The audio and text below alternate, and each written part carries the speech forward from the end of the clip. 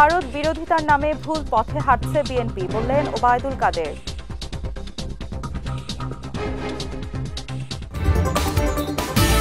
জাতিসংঘ পুলিশের কাজে অবদান রাখতে অঙ্গীকারবদ্ধ বাংলাদেশ, জানালেন স্বরাষ্ট্রমন্ত্রী।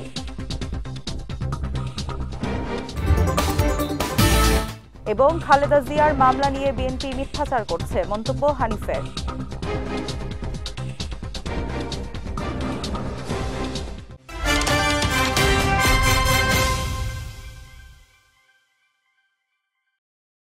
আসসালামু আলাইকুম। বিজয় রাতের সংবাদে আমন্ত্রণ জানাচ্ছি আমি সিরাজুমনিরা বিলাসী। শুনছিলেন শিরোনাম, এবার বিস্তারিত। ভারত বিরোধিতার নামে আজকে যারা আন্দোলনের ইস্যু খোঁজার চেষ্টা করছে, তারা আবারও ভুল পথে হাঁটছে বলে মন্তব্য করেছেন আওয়ামী লীগ সাধারণ সম্পাদক ও সেতুমন্ত্রী ওবায়দুল কাদের। সকালে জাতীয় সংসদ ভবনের সামনে সাইকেল র্যালি উদ্বোধন অনুষ্ঠানে তিনি মন্তব্য করেন। বলেন, বিদেশে আওয়ামী লীগের প্রভু নেই, বন্ধু আছে, কিন্তু বিএনপির প্রভু আছে। আওয়ামী লীগ যা করে, বাংলাদেশের স্বার্থেই করে। দেশের স্বার্থ বিকিয়ে দিয়ে বঙ্গবন্ধু কন্যা কিছু করেন না বলেও মন্তব্য করেন আওয়ামী লীগের এই শীর্ষ নেতা। এ সময় আওয়ামী লীগের সভাপতি মণ্ডলীর সদস্য জাহাঙ্গীর কবির নানক, ঢাকা উত্তর সিটি কর্পোরেশনের মেয়র আতিকুল ইসলাম সহ অনেকে উপস্থিত ছিলেন। ভারত বিরোধিতার নামে আজকে আন্দোলনের ইস্যু খোঁজার চেষ্টা করছে। তারা আবারও ভুল পথে হাঁটছে। ভারত আমাদের একাত্তরের পরীক্ষিত বন্ধু। জাতিসংঘ পুলিশের কার্যক্রমে ফলপ্রসূ অবদান রাখার বিষয়ে বাংলাদেশের অঙ্গীকার ও প্রস্তুতি পুনর্ব্যক্ত করেছেন স্বরাষ্ট্রমন্ত্রী আসাদুজ্জামান খান। স্থানীয় সময় বৃহস্পতিবার নিউ ইয়র্কে জাতিসংঘের শান্তিরক্ষা কার্যক্রমে অভিনব কৌশল ও সম্ভাব্য সংঘাতের ক্ষেত্র শীর্ষক সম্মেলনের প্রধান সেশনে এ অঙ্গীকার পুনর্ব্যক্ত করেন মন্ত্রী। এছাড়া বর্তমান পরিবর্তিত পরিস্থিতি ও প্রেক্ষাপটে জাতিসংঘ শান্তিরক্ষা মিশনে প্রাসঙ্গিক ও নির্দিষ্ট লক্ষ্যভিত্তিক বিশেষায়িত পুলিশিংয়ের বিষয়ে গুরুত্বারোপ করেন স্বরাষ্ট্রমন্ত্রী। এ সময় শান্তিরক্ষা কার্যক্রম চলমান দেশগুলোর আইন ও নিরাপত্তা সংক্রান্ত সংস্থাগুলোর দক্ষতা বৃদ্ধির ওপরও জোর দেন তিনি। সম্মেলন চলাকালে স্বরাষ্ট্রমন্ত্রী, গাম্বিয়ার স্বরাষ্ট্রমন্ত্রী আবদৌলে সানিয়াং জাতিসংঘের under secretary general for peace operations Jean Pierre লাখোয়া এবং under secretary general for operational support Atul Khare সঙ্গে তিনটি পৃথক দ্বিপাক্ষিক বৈঠক করেন। খালেদা জিয়ার মামলা নিয়ে বিএনপি মিথ্যাচার করছে বলে মন্তব্য করেছেন আওয়ামী লীগের যুগ্ম সাধারণ সম্পাদক মাহবুবুল আলম হানিফ। আজ কুষ্টিয়ার পিটিআই রোডের নিজ বাসভবনে সাংবাদিকদের সঙ্গে আলাপকালে তিনি মন্তব্য করেন। বলেন, বেগম খালেদা জিয়ার বিরুদ্ধে মিথ্যা মামলা দিয়ে আটক রাখা হয়েছে। বিএনপি নেতাদের এমন বক্তব্য চরম মিথ্যাচার। বেগম জিয়ার নামে মামলা আওয়ামী লীগ সরকার করেনি, করেছিল তত্ত্বাবধায়ক সরকার। বিএনপির আইনজীবীরা খালেদা জিয়াকে নির্দোষ প্রমাণে ব্যর্থ হয়েছে বলেই আদালত তাকে দণ্ড দিয়েছেন। এ সময় দেশের ভেতর দিয়ে ভারতের ট্রেন চলার বিষয়ে বিএনপি নেতারা যে বিরোধিতা করছে, তা দেশের জন্য কোনো মঙ্গল বয়ে আনবে না বলেও মন্তব্য করেন হানিফ। খালেদার বিরুদ্ধে মিথ্যা মামলা দিয়ে আটক রাখা হয়েছে, এই ধরনের বক্তব্যটা মোটেই গ্রহণযোগ্য নয়। এটা বিএনপির চরম মিথ্যাচার একটা অংশ। কারণ আপনারা জানেন যে বেগম খালেজার বিরুদ্ধে মামলার যেটা হয়েছিল, সেটা দুই সাত সালে তত্ত্বাবধায়ক সরকার সময় হয়েছে। এবং সেই মামলায় পরবর্তীতে বিএনপির শীর্ষ পর্যায়ের আইনজীবীরা তারা আদালতে বেগম খালেজাকে নির্দোষ প্রমাণ করতে ব্যর্থ হয়েছে, যার ফলে আদালত তথ্য প্রমাণের ভিত্তিতেই তাকে দণ্ড দিয়েছিলেন। আওয়ামী লীগ বাংলাদেশের মানুষের আশা আকাঙ্ক্ষা পূরণে কাজ করছে বলে মন্তব্য করেছেন তথ্য প্রতিমন্ত্রী মোহাম্মদ আলী আরাফাত। বিকেলে রাজধানীর তেজগাঁওয়ে আওয়ামী লীগের কার্যালয়ে ঢাকা জেলা আওয়ামী লীগ আয়োজিত ইতিহাসের গতিধারায় বঙ্গবন্ধু থেকে শেখ হাসিনা। শীর্ষক সংবাদচিত্র প্রদর্শনী পরিদর্শন করে এ মন্তব্য করেন তিনি। বলেন, দেশের অর্থনীতির মুক্তিও আওয়ামী লীগের হাত ধরে এসেছে। এ সময় আওয়ামী লীগ ছাড়া দেশে মূলধারার কোনো দল নেই বলেও মন্তব্য করেন প্রতিমন্ত্রী। জনগণের মধ্য থেকে জন্ম নিয়ে জনগণের মধ্যে বেড়ে ওঠা আর কোনো দল কি আছে মূলধারায় বাংলাদেশে? আর কোনো দল নাই। যারা আছে ক্যান্টনমেন্টে বিভিন্ন সামরিক শাসকের পকেট থেকে তৈরি হওয়া দল অথবা মুক্তিযুদ্ধ বিরোধী অপশক্তি সরাসরি। আর কিছু হয়তো আছে দল যারা এত দুর্বল যে তারা শুধু চাই চাই দাবি জানানোর বাইরে তাদের কোনো সক্ষমতা নাই। কাজেই বাংলাদেশের মানুষের আশা আকাঙ্ক্ষা এই দল বাংলাদেশ আওয়ামী লীগকেই পূরণ করতে হয়। এদেশের স্বাধীনতার আকাঙ্ক্ষা আওয়ামী লীগ পূরণ করেছে। ঈদের আমেজ কাটিয়ে জমতে শুরু করেছে রাজধানীর কাঁচা বাজারগুলো। ঈদের এক সপ্তাহ পর মাছ মাংস এবং সবজির দামে ক্রেতাদের নাভিশ্বাস উঠলেও মুদি বাজারে বইছে কিছুটা স্বস্তির বাতাস। বিক্রেতাদের দাবি সরবরাহ না থাকায় দাম বেড়েছে পণ্যের। রাজধানীর বাজার ঘুরে সোহানুর রহমান সোহানের ছবিতে সৈয়দ নওশাদের রিপোর্ট। বাংলাদেশের সিস্টেমটা হলো উল্টা। অন্য জায়গায় যত খাইবো তত রেট কমবে। আপনার তো আমি কম দামে আনতে পারলে আমি কম দামে বিক্রি করতে পারব। আমার কেনা বাজার আমি তেল কিনে ফেলছি সেখান থেকে তেলের বোতলটা নামায় ফেলতে হয়েছে। গ্রীষ্ম পেরিয়ে প্রকৃতিতে বর্ষা এলেও খুব একটা বৃষ্টির দেখা নেই। আর সেই গরম বাতাস বইছে নিত্যপণ্যের বাজারেও। ঘরে বাইরে তাই স্বস্তি নেই সাধারণ ক্রেতাদের। ঈদের পর পেরিয়ে গেছে একটি সপ্তাহ। এরপরও বাজারে বাড়তি মাছ মুরগি ও সবজি সহ সকল পণ্যের দাম। তবে গেল সপ্তাহের তুলনায় চলতি সপ্তাহে কিছুটা ঠান্ডা রয়েছে মুদির বাজার। কিন্তু সেই ঠান্ডা পৌঁছায়নি আলু, পেঁয়াজ, কাঁচামরিচ সহ সবজির বাজারে। ফলে নিত্যপণ্যের বাজারে হিমশিম খাচ্ছেন ক্রেতারা।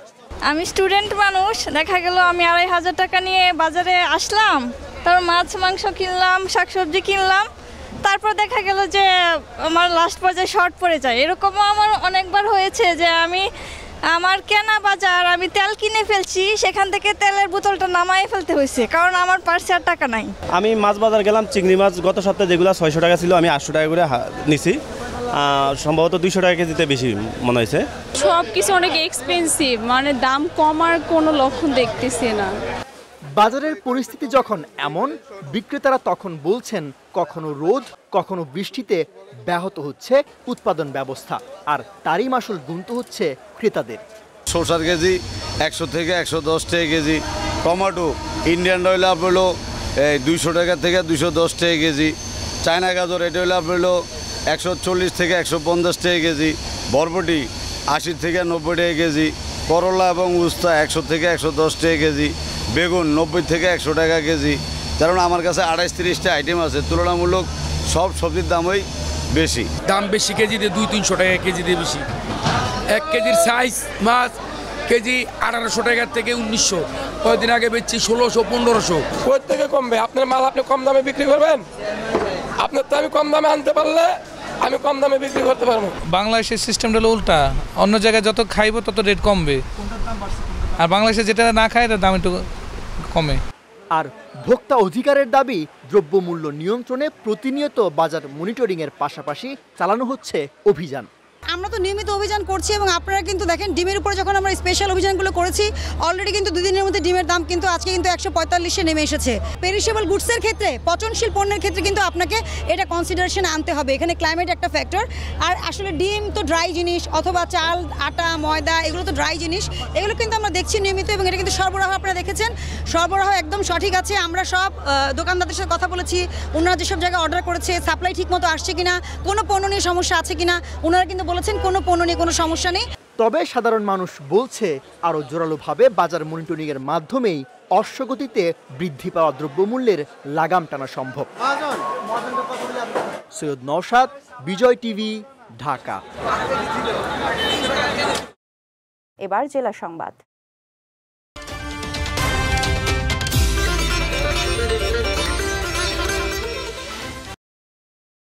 আওয়ামী লীগ সরকার ক্ষমতায় এসে কৃষকদের বাড়ি বাড়ি বিনামূল্যে সার, বীজ পৌঁছে দেওয়ার ব্যবস্থা করেছে বলে মন্তব্য করেছেন ডাক, টেলিযোগাযোগ ও তথ্য প্রযুক্তি প্রতিমন্ত্রী জুনায়েদ আহমেদ পলক। আজ নাটোরের সিংরায় নিজ বাসভবনে ক্যান্সার ও অন্যান্য দুরারোগ্য ব্যাধিতে আক্রান্ত রোগীদের সুচিকিৎসার জন্য প্রধানমন্ত্রীর পক্ষ থেকে বাইশ জন বিভিন্ন রোগে আক্রান্ত ব্যক্তিকে এগারো লাখ টাকার চেক বিতরণকালে তিনি এ মন্তব্য করেন। বলেন, নৌকা মার্কায় ভোট দিয়েছেন বলেই এত উন্নয়ন, স্বচ্ছতা ও জবাবদিহিতা সৃষ্টি হয়েছে। উপজেলা নির্বাহী কর্মকর্তা হামিম তাবাসসুম প্রভার সভাপতিত্বে অনুষ্ঠানে উপজেলা চেয়ারম্যান দেলোয়ার হোসেন, পৌর মেয়র জান্নাতুল ফেরদৌস সহ স্থানীয় জনপ্রতিনিধিরা উপস্থিত ছিলেন। সিরাজগঞ্জের চৌহালি থানার কোরবান আলী হত্যা মামলার প্রধান আসামি সহ তিন পলাতক আসামিকে গ্রেফতার করেছে র্যাব। আজ এক সংবাদ বিজ্ঞপ্তিতে র্যাব বারোর সহকারী পুলিশ সুপার ওসমান গনি এ তথ্য নিশ্চিত করেন। তিনি জানান, গতকাল নাটোর জেলার সিংড়া থানার শেরকোল আখপাড়া এলাকায় অভিযান চালিয়ে তাদের গ্রেফতার করা হয়। তিনি আরও জানান, জমি সংক্রান্ত বিরোধের জেরে গত উনিশ জুন গ্রেফতারকৃতরা পূর্ব পরিকল্পিতভাবে দেশীয় অস্ত্র দিয়ে কুপিয়ে কোরবান আলীকে আহত করে। এ সময় স্থানীয়রা তাকে উদ্ধার করে হাসপাতালে ভর্তি করলে গত বিশ জুন চিকিৎসাধীন অবস্থায় তার মৃত্যু হয়। পরে ঘটনায় নিহতের ভাতিজা বাদী হয়ে চৌহালি থানায় একটি হত্যা মামলা দায়ের করেন। পটুয়াখালীর কলাপাড়ায় ছাব্বিশ হাজার আটশো আশি পিস চাইনিজ বিয়ার সহ তিন কারবারিকে গ্রেফতার করেছে মাদকদ্রব্য নিয়ন্ত্রণ অধিদপ্তর। আজ ভোরে পটুয়াখালী টোল প্লাজা থেকে একটি কভার্ড ভ্যান ও মাদক সহ তাদের গ্রেফতার করা হয়। বিষয়টি নিশ্চিত করেন পটুয়াখালী মাদকদ্রব্য নিয়ন্ত্রণ অধিদপ্তরের সহকারী পরিচালক এনায়েত হোসেন। তিনি জানান, চীন থেকে নৌপথে অবৈধ এসব মাদক পায়রা বন্দর হয়ে কলাপাড়ায় আসে। সেখান থেকে ঢাকায় পাচারকালে দুই কোটি পনেরো লাখ চার হাজার টাকা সমমূল্যের মাদক জব্দ করা হয়। স্বাধীনতার পরে বরিশাল বিভাগে জব্দকৃত অবৈধ বিয়ারের এটি সবচেয়ে বড় চালান বলেও জানান এই কর্মকর্তা। পটুয়াখালীর উদ্দেশ্যে যাত্রা করেছিল হাইওয়েতে। আমরা তার পিছু ধাওয়া করি। তাকে পটুয়া ধাওয়া করতে করতে পটুয়াখালী টোল প্লাজা তাকে আটকাতে আমরা সক্ষম হই। সেখানে আটকিয়ে গাড়ির ভিতরে তিনজন লোক পাই আর বিয়ার পাই এক হাজার একশো বিশ কেন। যাচ্ছি খেলার সংবাদে।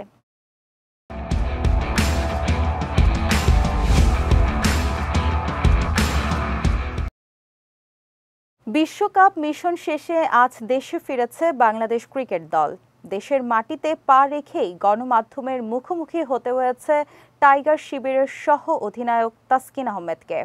গণমাধ্যমকে বিশ্বকাপে প্রত্যাশা অনুযায়ী খেলতে না পারলেও ভবিষ্যতে ভালো কিছু করার আশ্বাস দিয়েছেন এই টাইগার পেসার। টাইগারদের দুর্দান্ত বোলিংয়ের সাফাই গাইলেও দলের ভোগান্তিতে ব্যাটারদের দিকে আঙ্গুল তুলেছেন তাসকিন। বিশ্বকাপের শেষটা আরও ভালো হতে পারত, জানিয়ে সর্বপ্রথম টি টোয়েন্টি বিশ্বকাপে বাংলাদেশের তিনটি জয়ের কথাও মনে করিয়ে দেন তিনি। বলেন, টুর্নামেন্ট থেকে ছিটকে পড়লেও এবারের টি টোয়েন্টি মিশনের কিছু ইতিবাচক দিকও রয়েছে টাইগারদের। টানা দ্বিতীয়বারের মতো ইউরোর শেষ ষোলোয় পা রেখেছে অস্ট্রিয়া।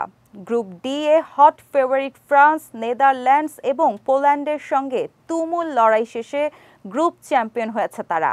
দলের সবচেয়ে বড় তারকা ডেভিড আলবাকে ছাড়াই গ্রুপ পর্বে এমন পারফরমেন্সের জন্য সবার প্রশংসা কুড়াচ্ছে র্যাঙ্কিংয়ের পঁচিশ নম্বরের দলটি। তবে গ্রুপ পর্ব পেরোনো দলটির এবারের লক্ষ্য ইউরোপের সেরা হওয়া। শেষ ষোলোতে তুরস্কের মুখোমুখি হবে অস্ট্রিয়া। এর আগে দু হাজার বিশ সালে ইতালির কাছে হেরে শেষ ষোলোতে থামতে হয় অস্ট্রিয়াকে। ইউরোর ইতিহাসে এটি এখন পর্যন্ত অস্ট্রিয়ানদের সেরা সাফল্য। রাঙ্কনিকের নেতৃত্বে দারুণ ছন্দে থাকা অস্ট্রিয়ানরা কতদূর পাড়ি দেয় সেদিকে এখন নজর ফুটবল ভক্তদের। বিজয় রাতের সংবাদ শেষ করার আগে শিরোনামগুলো দেখে নিচ্ছি আরও একবার।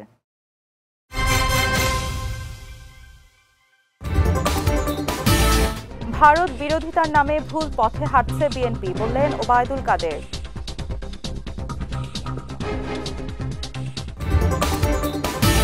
জাতিসংঘ পুলিশের কাজে অবদান রাখতে অঙ্গীকারবদ্ধ বাংলাদেশ, জানালেন স্বরাষ্ট্রমন্ত্রী।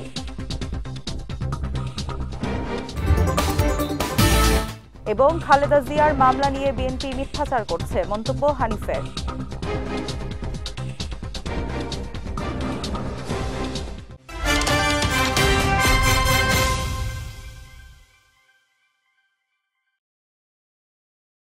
বিজয় রাতের সংবাদ শেষে আজকের মতো আমি সিরাজুমনিরা বিলাসী আপনাদের কাছ থেকে বিদায় নিচ্ছি।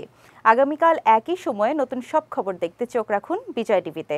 এছাড়াও আজকের বিজয় রাতের সংবাদের ভিডিও দেখতে পারেন আমাদের ইউটিউব এবং ফেসবুক পেজে। আমাদের ইউটিউব হলো YouTube dot com slash Bijoy TV official এবং আমাদের ফেসবুক পেজ হলো Facebook dot com slash Bijoy TV limited এতক্ষণ সঙ্গে থাকার জন্য ধন্যবাদ সবাইকে।